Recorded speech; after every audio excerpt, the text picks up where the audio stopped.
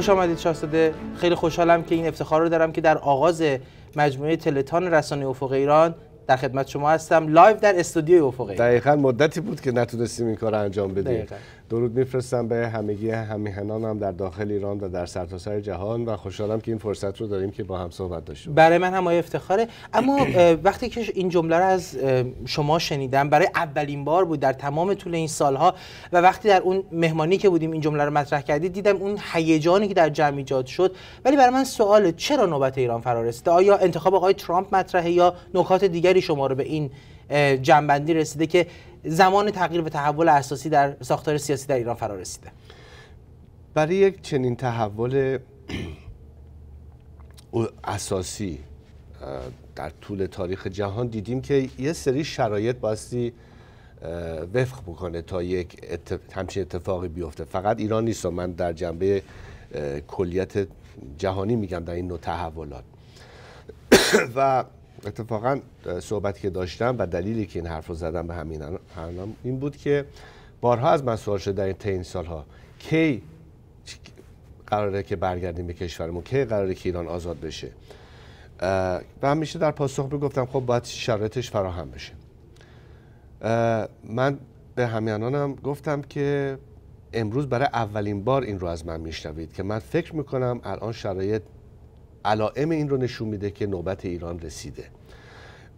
اساسی ترین دلیلش برمیگرده به خود مردم ایران در داخل کشور و تمام حرکت ها همایش ها اعتراضات اعتصابات و نارضایتی و حتی می‌خوام بگم خشم که امروز در مملکتمون می‌بینیم مملکت رو آبستن حوادث جدی کرده. از طرف دیگر رژیم در جهت فروپاشی بیشتر داره پیش میره. یکی از سران عمدهش رو از دست داده.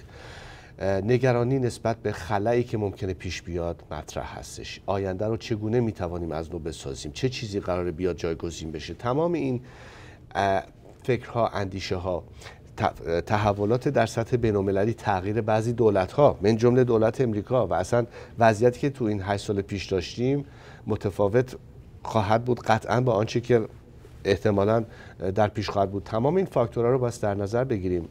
و مجموعه این فاکتورها بخت یک تغییر رو یا یک دریچه زمانی که در اون فرصت باستی حد اکثر بهره برداری و استفاده رو کرد رو فراهم کرده و بنابراین فکر می‌کنم که الان ما به شرایطی رسیدیم که نمی‌توانیم دیگر وارد این مرحله نشیم که خب بعدش چی؟ چه جوری این خلا پر میشه؟ نگذاریم که ایران در جهت قهقرا بره. نگرانی های جدی که الان هست. بسیاری از تماس هایی که با ما گرفته میشه نیروهای انتظامی از ارتش از سپاه که آه مملکت که نمی‌تونه هرج و مرج بشه. نگرانی خود مردم و از طرفی دست به کار شدنشون. تمام اینها چیزهایی است که الان باهاش مواجه هستیم و شرایط عینی کشور رو تعریف اشاره فرمودید به نگرانی های جدی که در جامعه وجود داره. بد نیست بعضی از این نگرانی ها خصوصا برای مردم داخل کشورمون بپردازیم. یکی از نگرانی ها تبدیل شدن ایران به سوریه است. سناریویی که جمهوری اسلامی به شدت در حال تبلیغ اون هست و میگه اگر من نباشم وضعیت ایران سوریه یا داعش یا عراق یا این فضا خواهد بود. آیا شما چنین چیزی رو باور دارید یا فکر می‌کنید که اساسا ایران به سمت سوریه شدن پیش خواهد رفت؟ من یه سوالی از شما بکنم. مگر تا همین دوران اخیر که اکثر همیهنانمون که در واقع سری نیروهای ضربتی برای سرکوب مردم رژیم مصرف کرد نمی‌گفتن که اینا اصلا ایرانی نیستن اینا اصلا تبع ایران نیستن از خارج از ایران اینا رو وارد کردن. معنی این حرف چیه؟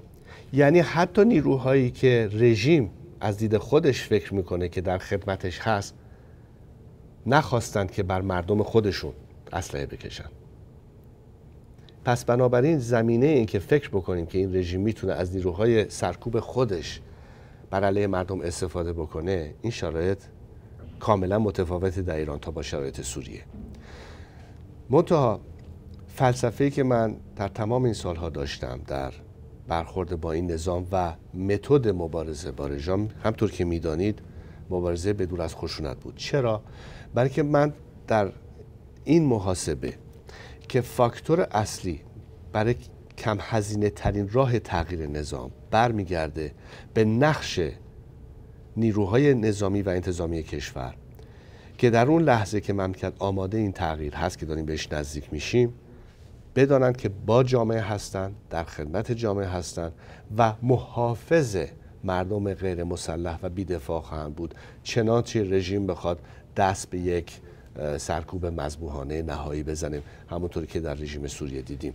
ما نخواهیم گذاشت که همچین اتفاقی در ایران بیفته.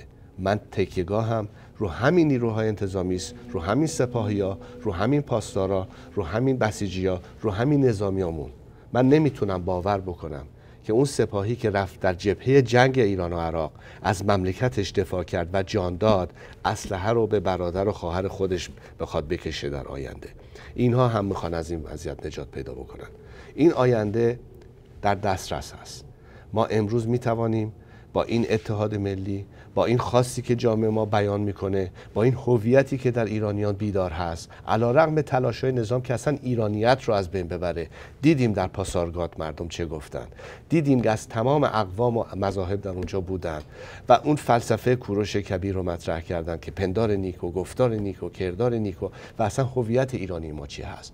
ایرانی ملتی است که تصادفاً قرنها رو پای خودش نیستاد. کرد و بلوچ و آذری و خوزستانی و زرتشتی و مسیحی و بهایی و مسلمون و سنی و شیعه.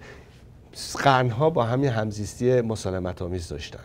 این اون که کشور ما رو بوده که متاسفانه قصب شد توسط یک رژیم سرکوبگر که از روز اول گفت اصلا ایران هیچ امته که مهمه. ما داریم برمیگردیم به راهی که کشور ما در طول قرون پیش رفت ولی با یک دید آینده نگر با یک همکاری وسیع ملی در جهت اهداف ملی و ارزش هایی که بهش احترام می‌گذاریم. عقاید مختلف سلیقه ها مختلفه در بود سیاسیش ولی نهایتا ما یه سری اصول و یه سری پرنسیپ هایی رو دنبال می‌کنیم که کاملا در تضاد هست با آنچه که این نظام تبلیغ کرده و سعی کرده در مملکت تایید. هر کسی که به اون هویت به اون ایرانیت به اون احساس غرور ملی و هویتش اعتقاد داره که قطعا خیلی از هم‌میهنانمون من جمله اونهایی که در بخش انتظامی هستند به خاطر ایران و ملت ایران هستند که جان خواهند داد. نه به خاطر یک رژیم نه به خاطر یک رهبر. درسته. شاهزاده مردم یک نگرانی دیگه ای هم که باهاش روبرو هستن این هست که میگن در بعد از انتخابات سال 88 به خیابان آمدن در خیابان شعار دادن حتی از شعارهای جنبش رد شدن و شعار مرگ بر دیکتاتور دادن و خواهان سرنگونی آقای خامنه ای شدن. اما نه دولت های جهان از اونها حمایت کردن و پشت اونها ایستادن و نه رهبری مشخصی این جنبش رو پیش برد. این دو خلع یعنی حمایت دولت های جهانی و رهبری رو چگونه میشه در قبال حضور مردم در خیابان ها و در جامعه و همون روند نافرمانی مدنی پر کرد. من بارها در طول این سالها و مصاحبه های متعدد بارها گفتم که یکی از فاکتورهای کلیدی که نبودش در صحنه یک شرط کافی رو فراهم نمی‌کنه برای یک تغییر نقش جامعه بین هست از حمایت از خواستهای مردم یک کشور خصوص مردم یک کشوری که خواست آزادی می‌خوان در مقابل یک نظام های بسیار سرکوبگر و خیلی موقعیت ها از دست رفت. امروز وقتی می‌بینیم که رهبران بعضی از این دولت ها حالا می‌خواد آقای ترامپ باشه در امریکا که برای اولین بار یه رئیس جمهور آمریکا از زمان انقلاب ایران اومده گفته که من می‌خوام مردم ایران تقویت بشن. و رژیم تضعیف بشه. یعنی میگن مردم تعیین کننده هستن. ما نمیایم بریم لشکر کشی بکنیم در افغانستان یا در عراق و رژیمی رو بندازیم یا نندازیم. مردم رو باعث تقویت کرد. خواست مردم رو باعث دنبالش بود و تقویت اون راه رو بریم. که دقیقا چیزی که همیشه خواستیم. من در تمام صحبت هایی که داشتم در طول این سالها با هر رهبر سیاسی بوده که خواست مردم ایران رو درک بکنیم. شما 37 سال فقط با رژیم مذاکره کردید. فقط در جهت اینکه فکر کنید که این رژیم تغییر رفتار خواهد داد و بیخود نیست که به نتیجه نرسیدید. ولی الان می‌بینید مردم هستن در خیابون. با هیچ کمکی با هیچ پشتیبانی دارن اونجا مبارزه می‌کنن مقاومت می‌کنن. و فاکتور تغییر و تصمیم گیرنده مردم هستن. بیاین و از این خواسته ملی ما حمایت بکنید. بذارید مردم ایران تصمیم گیر باشن و شما حامی این تغییر باشین. حامی این تاثیر باشین. آقای نتانیاهو نخست وزیر اسرائیل پیامی داد به مردم ایران. تمام این علائم و فکر کنم از اروپا هم قطعا خواهیم شنید. نشون این هستش که بالاخره به نتیجه رسیدن که این حکومت به هیچ عنوان رفتارش رو منش رو تغییر نخواهد داد و نمی‌توان بیش از این صبر کرد چون عواقب این کار بسیار وخیمتر می‌تونه بشه از نظر ثبات منطقه‌ای. کشورهای منطقه حوزه خلیج فارس همسایگانمون همه همه نگران این مسئله هستند ولی خوشبختانه بیشتر و بیشتر دارن متوجه میشن که مهمترین و فاکتور اصلی تغییر همانا مردم اون مملکت هستن. که من همیشه می‌خواستم در اون جهت پیش بره که نریم وارد سناریوی جنگ و نمی‌دونم چیزهایی که می‌تونه هزینه رو بسیار بالاتر ببره و نتیجه هم که می‌خوایم بهش به عنوان ملتی که به آزادی می‌خواد برسه رو هرگز بهش دست پیدا نکنیم. و به قول معروف یک دیکتاتوری جایگزین دیکتاتوری دیگه بخواد بشه. بنابراین تمام این چیزها امروز درست باهاش مواجه هستیم در عمل و بایستی از همکنون وارد این فاز بشیم که حالا چگونه می‌تونیم این رو جا بندازیم. و دقیقا چیزی که الان باش مواجه هستیم. اونچه شما میفرمایید به عنوان خواسته تغییر به نفع مردم ایران یکی از مهمترین نکاتی است که پیش از این هم رهبری مانند رئیس جمهور اوباما بهش اشاره حداقل کلامی کرده ولی برخی معتقدند که مشاوران غلط یا نادرست و یک سیستم رسانه‌ای عریض و طویل که از شهرها و پایتخت‌های گوناگون جهان برای ایرانی ها برنامه می‌سازه کوشیدن تا تنها راه برون رفت از جمهوری اسلامی رو جریان اصلاحات قلمداد کنند. و حتی برخی از ورود و خروج ها به کاخ سفید در طول سه سال گذشته نشون میده که این جریان در خارج از کشور هم به شدت فعال بوده. آیا فکر می‌کنید رئیس جمهور جدید آمریکا مشاوران درست خواهد داشت یا راههایی برای برقراری ارتباط یا ارائه مشاوره های درست برای رساندن خواسته اصلی مردم که تغییر رژیم سیاسی در ایران هست رو شما در نظر گرفتید؟ ببینید فکر کنم این علائم این رو در چند ماه آینده خواهیم دید که در عمل به چه شکلی پیش خواهد رفت. فکر می‌کنم دیگه کسی باقی نمونده در در غرب که تمام تلاش های به اصطلاح اون ستون پنجم نظام که در واقع لابینگ جمهوری اسلامی بود در خارج که بیان به یه نوعی بخوان همین فلسفه اصلاحات رو هی جا و مهلت بدید و وارد مذاکره بشید و یه عوامل معتدلتر در ایران هستن که می‌تونن یه جوری مثلا حل بکنن. این بازی رو مدت از زمان خاتمی شروع شد. امروز دیگه فکر نمی‌کنم کسی باورمند باشه برای اینکه اصلا این نظام قابل اصلاح هست. این که واضحه. ولی این مفروض در داخل ایران تقریبا قطعی شده. در خارج هم دارن کم کم بهش می‌رسن که این بیشتر یه مانوف بود یک وقت خریدن برای رژیم بود. الان باز برگردن رو محوریت که مردم مردم اون مملکت فاکتور اصلی تغییر هستن. رژیم هیچ وقت داوطلبانه تغییر رفتار نخواهد داد. بخواد تغییر رفتار بده دیگه جمهوری اسلامی نیست. دیگه اون ایدئولوژی مذهبی نیست که بخواد در همه جای دنیا صادر بشه. آخه مگه ممکنه بعد از 37 سال یه شرایط عادی در یک کشوری به وجود نیاد بعد از یه به اصطلاح انقلاب؟ سیرت و ماهیت این نظام در همون جهت اهدافی است که همیشه داشته و ایران رو فقط به عنوان یک سکوی پرتاب باشه برای صدور یک ایدئولوژی. وقتی که ما می‌بینیم که رژیم جمهوری اسلامی میلیاردها دلار رو داره هزینه می‌کنه در حمایت از سوریه یا حزب الله یا تروریسم یا پر کردن جیبای خودشون. وقتی که میان ماشین های آبپاشی برای جلوگیری از اعتراضات استفاده می‌کنن. ولی یه هلیکوپتر نیست که میاد آتیش خاموش کنه که ساختمان پلاسکو فرود نریزه. معلومه که اولویت رژیم در جهت منافع ملی نیست. فقط مصلحت خودش هست. دنیا داره اینو کم کم می‌فهمه. البته این رو بگم. من همیشه گفتم همیهنان ما رو هیچ کسی به غیر از رو خودمون نمی‌تونیم اتکا بکنیم. چه دنیا بخواد چه دنیا نخواد ما باز کار خودمون رو انجام بدیم. من حرفم به دنیا این هست که شما اگر امروز بیاین و از مردم ایران حمایت بکنین هزینه آزادیمون کمتر خواهد بود برای به دست آوردنش تا بیشتر. ولی ما به آزادیمون چه بخواین چه نخواین خواهیم رسید. ولی در فردای آزادی یادمون نخواهد رفت که کی با ما بود در این مبارزه و کی در مقابل ما ایستاده است. توپ در کورت دنیا هستش که امروز جواب مردم ایران رو چه خواهند داد؟ پیام من به رهبران سیاسی جهان می‌خواد آقای ترامپ باشه می‌خواد آقای نتانیاهو باشه می‌خواد رئیس جمهور فرانسه باشه می‌خواد نخست وزیر انگلیس باشه یا تمام مسئولین دولت های خارجی این هست که عامل ثبات منطقه ما کشور ایران هست و خواهد بود. همونطوری که در گذشته ثابت شد و قبل از اینکه رژیم در ایران پایریزی بشه دیدیم که شرایط جهان چقدر در جهت ثبات بود در جهت رونق بود از هر لحاظ و از زمان اینکه رژیم موجودیت پیدا کرد تمام منطقه به هم ریخت.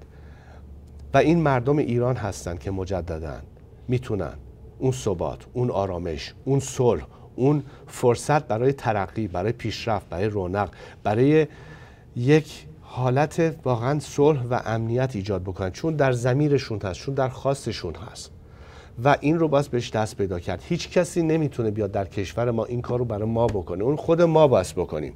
ولی شما بیاین و این فاکتور سرمایه گذاری بکنید. این سریع ترین راهی هست که ما به یک سناریوی برنده برنده برسیم. حال تصمیم با شماست. ما کار خودمون رو خواهیم کرد. ولی من امروز علائمی رو می‌بینم. برای بار اول در این 6 7 سالی که سر و کار داشتیم در این مبارزه که علائم مثبتی است در این جهت. یعنی تغییر سیاست کلی جهانی نسبت به معضل ایران رو چجوری میشه حل کرد؟ و نهایتا مردم ایران دارن فاکتور اصلی میشن و نه سران رژیم یا بازیگران رژیم که مثل یه خیمه شب بازی هی جستای مختلف گرفتن که مثلا این بازی معتدل رو در مقابل مثلا یه عامل رادیکال بخوان جلوه بدن که بعضی معتدل خب با ما حساب باز کنیم این حرف. از این حرفا گذشتیم. فهمیدن که این رژیم فقط داره حقه می‌زنه کلک می‌زنه دروغ میگه دروغ محض میگه تقیه می‌کنه اگه لازم باشه. ولی مردم ایرانن که حرف حق و حق نهایی رو می‌زنن. بیاین و این بار رو مردم ایران سرمایه گذاری بکنید و اینجاست که ما با هزینه کمتر موفق خواهیم شد. شاهزاده مشخصا ما گروه کثیری از ایرانی ها رو داریم. شاید چند میلیون ایرانی که امروز به شرایط اجبار یا حتی به خاص خودشون خارج از ایران زندگی می‌کنن. فکر می‌کنید چه وظیفه به عهده ایرانیان خارج از کشور هست برای حمایت از روند دموکراسی خواهی مردم در کشور و درک و انتقال این شرایط به رهبران کشورهاشون به جامعه کشورهاشون و یا هر مسئله دیگری از این دست؟ خب فکر می‌کنم همین اتفاقاتی که در ایران داره میفته و این حضور مردم در در صحنه و مقاومتشون بسیار اثرگذار هست. ما توی دنیای امروز زندگی می‌کنیم که همین فضای مجازی تمام این کلیپ هایی که از ایران میاد صداهای مردم این همینا مشاهده میشه دیگه. و همیانانمون که در خارج مملکت هستن قطعا این رو دنبال می‌کنن و خوشحال میشن که همچین شرایطی هست و به مراتب بیشتر می‌خوان بیان و حمایت بکنن. ما یکی از دلایلی که امروز اینجا نشستیم به خاطر این هستش که از همیاری همیانانمون بتونیم استفاده بکنیم در جهت تقویت بیشتر و حمایت بهتر از خاص همیهنانمون در داخل. خب جامعه باسی بسیج بشه حمایت خودشو بده حالا می‌خواد به شکل مالی باشه به شکل فکر باشه به شکل اندیشه باشه در هر فازیش. ولی فکر کنم مهمترین نقشی که جامعه برون مرزی می‌تونه بازی بکنه نهایتا این هستش که فردای ایران رو چجوری میشه دوباره ساخت. ببینید ما این همه آدم داریم امروز که متاسفانه به خاطر عملکرد این نظام مجبور به ترک وطن شدن. امروز نسل دومی هست که در خارج از کشور تربیت شده ولی هنوز اون احساس تعلق به فرهنگ و میراث خودشون دارن. و اگه بتونن فردا به کشور مادری خودشون خدمت کنن. خیلی شاید بخوان برگردن به مملکت. ما باید فکر 40 50 سال آینده مملکت باشیم. ما فقط به فکر نیستیم که رژیم تغییر پیدا بکنه. اون جای خود ما باید به آزادی و یه حکومت دموکراتیک برسیم. ولی برنامه چی هست؟ دورنمای ایران چی هست؟ ما این همه افراد مختلف داریم در جهان در تخصص های مختلف که می‌تونن تمام این مشکلات آینده مملکت رو به نوعی درش تاثیر گذار بکنن. از نظر سرمایه گذاری از نظر مؤسسات مختلف. مسائل بهداشتی مسائل اقتصادی مسائل چیزایی که می‌تونه آنن تولید کار و اشتغال بکنه. مسئله زیست محیطی ایران که برای من اهمیت بسیار ویژه‌ای داره. تمام اینها رو ما در سرتاسر سر جهان داریم. بیشتر این افراد دارن دنیا رو میگردونن. تو همین امریکا. ببینید چقدر ایرانیانی داریم که دارن این مملکت رو میچرخونن. خب ترجیح میدن این کارو بتونن برای کشور خودشون بکنن و این فرصت فراهم خواهد شد. ما کشوری نیستیم که فردا اگه گرد و خاک خوابید میگه حالا چیکار بکنیم؟ او انقدر این مملکت پتانسیل داره انقدر افرادی داریم که آنن می‌تونن دست به کار بشن که خیلی سریع ما می‌تونیم این این این چرخو بندازیم. فقط و فقط باسی از مانع اصلی بگذاریم که همین حکومتی است که در حال فروپاشی است. منتها برای اینکه این خلط درست پر بشه باسی هوشمندانه عمل کرد. اینجاست که اتحاد وسیع ملی ما مهم هست. اینجاست که باز اولویت های منافع ملی کشورمون رو در نظر بگیریم. اینجاست که باسی یک همبستگی کامل داشته باشیم. اینجاست که فرصتی است که دنیا میگه مردم ایران می‌دونی چیه؟ ما تا حالا با رژیم حرف زدیم. حالا می‌خوایم بیایم سراغ شما. حرفتون چیه؟ این فرصتی است که به ما داده شده. یه شرایط بین‌المللی است که فراهم شده. الانه که باز بتونیم بهره برداری کامل بکنیم. این یعنی وارد صحنه شدن. این یعنی وارد کار شدن. این فرصت الان فراهم شده.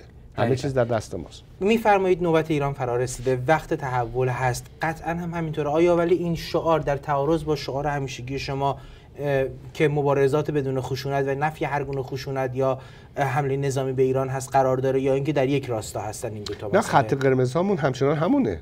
ما هیچ چیز تغییر نکرده.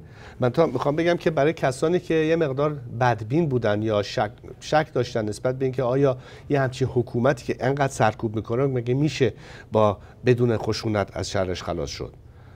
که همیشه من در پاسخ می‌گفتم بله برای که عامل سرکوب برای این نظام ها که فکر می‌کنن رو اون عوام می‌تونن حساب بکنن نهایتا بر علیه مردم خودشون بلند نخواهد شد. برای همینه که تمام این سالها به همین الانم گفتم که کاری باس بکنید که اون کسی که امروز تو این دستگاه گیر کرده بر اون سپاهی که می‌دونه حقوقش کافی نیست که بتونه زندگیشو بچرخونه.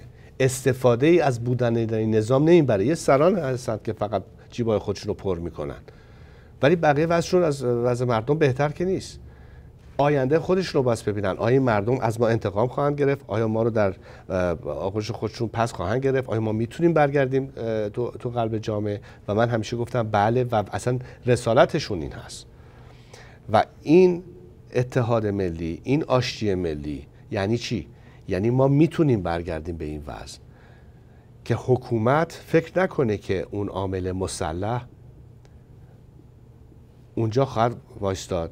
و به یک ایرانی به یک بچه خیابانی به یک مادر داغدار به یک خانواده که تو آتش سوزی از بین رفتن. یا هر کسی تیراندازی خواهد کرد برای اینکه آقا خامنه ای بالای خیمش باقی بمونه و این همه جنایت رو بخواد ادامه بده. هرگز این اتفاق نخواهد افتاد. شاهزاده شما جمله معروفی دارید که اخیرا از چه استفاده می‌کنید. بگید ما اجازه نخواهیم داد ایران به سوریه تبدیل شه.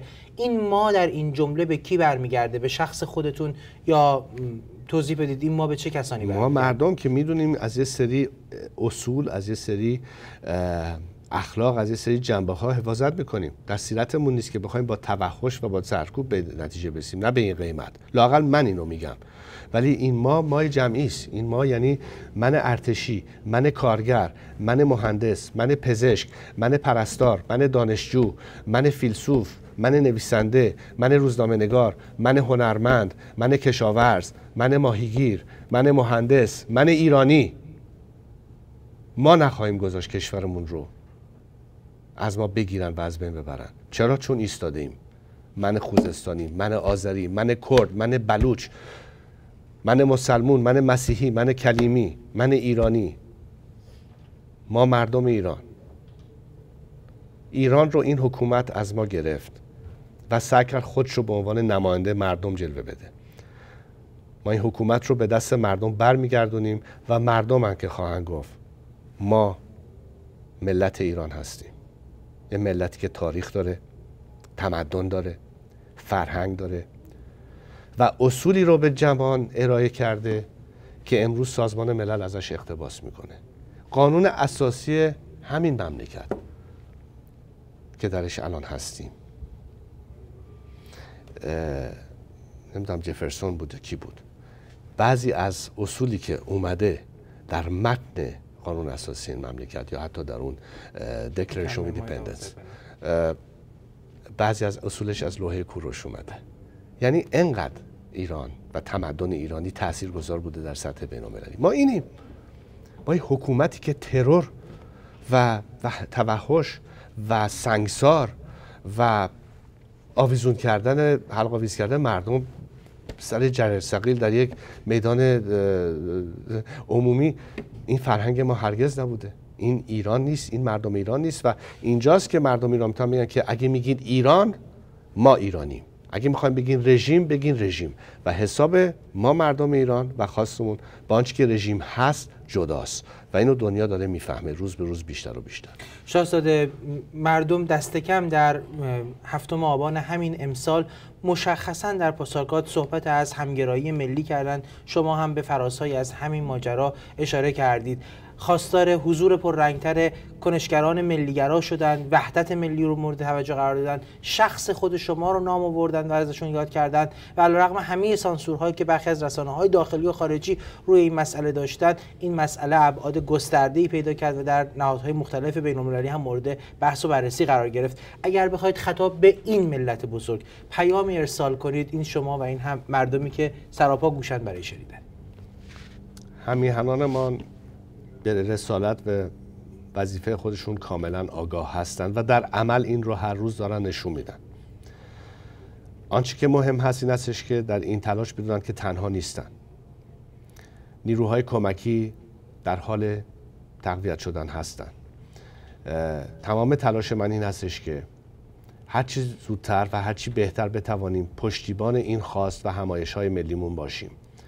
و در سطح بین‌المللی رایزنی های خودم رو ادامه خواهم داد برای جلب هرچه بیشتر پشتیبانی بین‌المللی از این خواست مردم ایران برای دستیابی به آزادیشون ما نمی‌تونیم آینده رو فرض بکنیم که درش آینده ایران به دست هیچ چیزی غیر از مردم ایران تعیین بشه. و این با شماست همین هنانم که این رو از دنیا بخواهید و خواسته اید متها دقیقا بهشون بگی که ما این شرایط رو فراهم خواهیم که ما مردم ایران هستیم که امنیت، صلح، همجواری، همزیستی در منطقه خودمون ایجاد خواهیم کرد. برای اینکه این ثباتی که این نظام از بین برده و به نام ایران از بین برده رو مجددا برگردونیم به جهت صحیحش. ما کشورمون رو از نو خواهیم ساخت. ما در منطقه عامل ثبات خواهیم بود و نه جنگ. ما مردم ایران این کار رو خواهیم کرد. بیایید و از این خواست ما حمایت بکنید. بهترین تضمین ثبات و صلح موقعی است که یک کشوری دستیابی داشته باشه به آزادی کامل یک نظام دموکراتیک یه نظامی که دلسوز منافع ملی اون کشور هست و آگاه هست از نقشی که یک کشور می‌تونه در سطح جهانی داشته باشه برای پیشبرد یک ارزش هایی که جهان شمول هستش و می‌تونه این تمدن و این مدنیت رو جا بندازه و مردم ایران بارها این رو در عمل ثابت کردن. بنابراین این با دنیاست که تصمیم میگه رو چی می‌خواد شرط بندی بکنه. باز تکرار می‌کنم. ما منتظر این نیستیم که امریکا یا اسرائیل یا فرانسه یا چین یا روسیه چه بکنن و چه نکنن. ما کار خودمون رو انجام می‌دهیم و خواهیم داد. فقط داریم به دنیا میگیم که اگه می‌خواین با هزینه کمتر این اتفاق بیفته بیاد رو این مسئله سرمایه گذاری بکنیم. برای اینکه کمتر جانها از بین برن. برای اینکه مدت کوتاهتر بشه. برای اینکه سریعتر به این کار برسیم. و این دست ماست و ما کار خودمون رو انجام خواهیم داد و من تمام تلاشم این هستش که هرچه بیشتر این حمایت از خواست مردم رو در سطح جهانی تقویت بکنم چون خیلی کمک خواهد کرد به پیشبرد سریعتر هدف اصلیمون که سرنگونی این نظام هست و جایگزین نیست با یک نظامی که مردم ایران بتونن به حاکمیت خودشون برسن و تعیین کننده سرنوشت کشور خودشون باشن. ممنونم از محبتتون و از شرکتتون در این مصاحبه کوتاه و از وقتی که ارائه کردید تا در رسانه خودتون. افق ایران باشید رسانه که به نام شما اعتبار داره و در راستای اهداف و سیاست های شورای ملی ایران گام برمیداره. سپاس مجدد. مرسی